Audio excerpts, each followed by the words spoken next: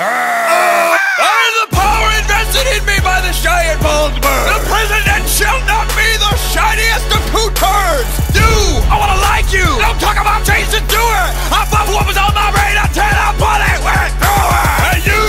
Money man! Your pancake! You flip lemonade! It's a country, not a company! You